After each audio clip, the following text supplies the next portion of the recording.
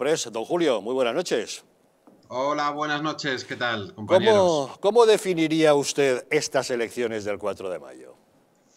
Pues unas elecciones totalmente polarizadas. Es verdad que siempre se utilizan los, los mismos términos, pero, pero está claro. Además, unas elecciones totalmente nacionales que pueden decidir o definir el futuro de, la reorganización política en España, sobre todo en la derecha, porque tenemos un, partido de ciudadanos de capa caída que cada vez eh, tiene menos presencia institucional y en los, y en los eh, parlamentos. Y el saber el papel de Vox, eh, conocer si Pablo Casado fía todo a la desaparición de Ciudadanos para ganar a Pedro Sánchez, también conocer la verdadera fuerza que puede tener eh, alguien como Pablo Iglesias en Madrid, si derrota a su enemigo político eh, o íntimo enemigo político llamado Rejón, Íñigo Rejón, a través de la figura de Mónica García aquí en Madrid, pues bueno, son todas muchas cartas de, una baraja totalmente nacional y totalmente polarizada, con seis partidos en, escena, que, eso es también complicado de calibrar, eh, Javier. Esa polarización nos hace que aquí tengamos dos carteles, por un lado el de Isabel Díaz Ayuso, por el otro el de la izquierda. Si tuviéramos que definir, ¿cuál es la mayor fortaleza que ofrece Isabel Díaz Ayuso en esta campaña? Pues a mi juicio, eh, la campaña la está desarrollando bien, es decir, sin meterse en determinados eh, charcos. Eh, sus fortalezas, pues lemas claros, directos y a determinados sectores que intentan que sean mayoritarios y que se define ella a sí misma e intenta conseguirlo a través de, su partido, de sus propuestas y de su experiencia en estos dos años en la Comunidad de Madrid como el partido de los madrileños, que más se acerca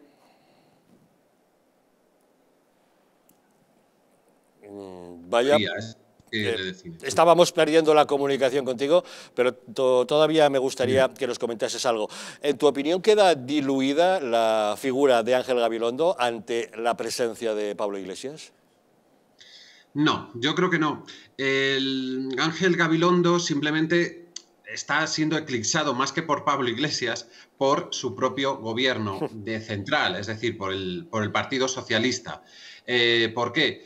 Pues hemos visto que le está diseñando la campaña Iván Redondo, le ha colocado muchos números en, su lista electoral a la Asamblea, eh, muchas personas, y también, por ejemplo, mientras Ángel Gabilondo intenta pescar algún voto eh, perdido de Ciudadanos o de la derecha con los impuestos sin tocar, como ha prometido para los próximos dos años, el mismo día pues el gobierno de España anuncia una armonización fiscal que no deja de ser una subida encubierta de los impuestos en la Comunidad de Madrid, porque están, son los más bajos de, España a nivel autonómico.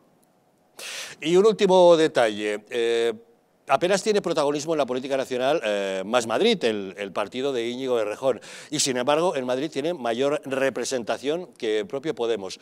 ¿Cómo es posible que en la izquierda tenga ese mayor protagonismo Podemos por encima de un Más Madrid que teóricamente es más fuerte en la comunidad?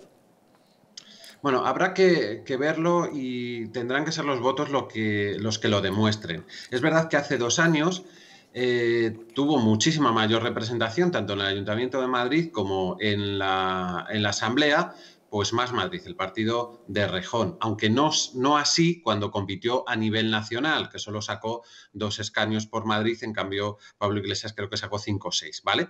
Entonces, iba de la mano en, hace dos años de Manuela Carmena, que era un referente para la izquierda alternativa en Madrid después de gobernar la capital durante cuatro años. Ese bagaje político, eh, esa traición por parte de Podemos ahora ya no, ahora ya está, está demostrada, con lo cual eh, habrá que ver el verdadero peso.